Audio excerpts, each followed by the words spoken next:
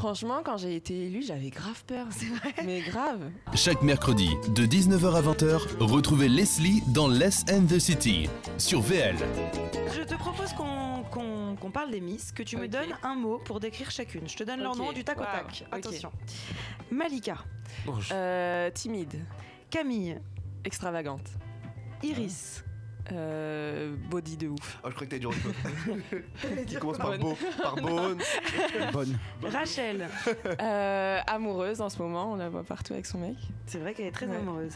Euh, Vai Malama, Euh, chanteuse. chanteuse. Ouais. Elle chante tout le temps. Ouais, elle chante. Ah bon Ouais, Elle chante tout le temps. Elle joue, elle elle la chante guitare. elle a une chante Arlette, c'est le truc qu'on a dit Vaillé Rua Malama. C'est la Ah. dernière, c'est la dernière. Vaï Malama, c'est la fille de Serge poste en ce Lama. moment. D'accord. Tu vois qui c'est C'est Rua. Sonia.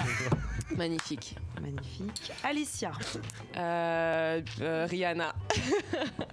ouais, Alicia, c'est un peu le, le sosie de Rihanna, quoi. Ouais. Et elle adore mettre des perruques, elle change tout le temps. C'est vrai que c'est génial ce qu'elle se fait. Ouais, elle a toujours des looks de ouf. Enfin, faut- c'est la petite Rihanna française. Delphine. Euh, Alsace. Ah ouais. Oh, le truc de bâtard Oh, Saucisse de morcave Il y y a un dos. Putain blanc Il y a un dos parce qu'on a, on, va a parler de là, c'est On parle en terroir. Pour tout le monde, il y a un petit, y a un petit Végétarienne. adjectif mignon et Non, tout. mais Alsace, elle lui a sorti. Delphine était Miss Alsace et elle est très, atta- et elle est très attachée Ouais, à, à l'Alsace et elle fait tout en Alsace. On la voit partout. Vrai, elle a fait Elle la pub des bouteilles d'eau, elle fait tout et c'est la. Et vous n'êtes pas très très proche. J'ai l'impression qu'elle fait pas. on a l'impression qu'il y a une espèce de vraie team Miss France. Vous êtes toutes copines, on Et voit tout le temps en soirée. Et j'ai l'impression que Delphine n'en fait pas partie. Si, mais en fait, euh, il y a, bah, chez Miss France, il y a forcément des groupes euh, en fonction de ta position géographique, on va dire. Il y en a qui habitent à Paris, donc c'est plus facile. Moi, je vois Enfin, souvent Delphine, elle, Malika. elle était euh, sur C8, euh, donc elle était souvent à Paris. Ouais. et elle Ouais, mais pas depuis Oui, qu'elle a mais, fait une euh, pub pour la choucroute William jamais, Sorin, ils euh, l'ont snobé. Non.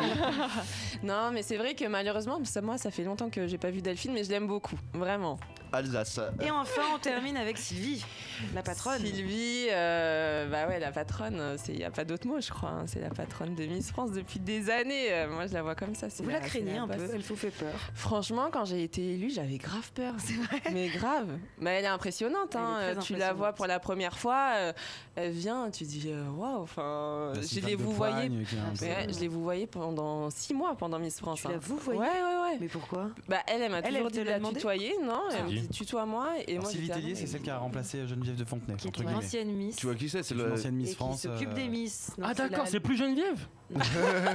Non mais là, non sérieusement, c'est plus Geneviève qui depuis s'occupe. 2010. Mais non, elle fait quoi Ça maintenant fait 10 ans, mec. Elle s'occupe Miss. la Non, mais Geneviève, elle fait quoi. Elle s'occupe du Miss concours euh, Miss Prestige National, c'est un autre dos, Alsace. Oh, elle est chiante, Et à quoi, partir de quand t'as arrêté d'avoir peur du coup de. Bah, au bout de six mois. En fait, pendant mon Ah, année, vois- mois, t'as vraiment hein. eu peur. Parce que en fait, je la voyais pas souvent. Elle était enceinte et du coup, j'avais toujours une relation très professionnelle avec Ah, une elle. Super relax si t'avais pas Sylvie si elle était enceinte, c'est bien. Bah, c'est vrai que du le coup, j'étais avec euh, tous les autres de la société Miss France qui sont très chouettes aussi, donc euh, j'ai passé des bons moments. Et après, euh, quand elle a accouché, je l'ai vue un peu plus souvent, ça m'a détendue et j'ai commencé à la tutoyer.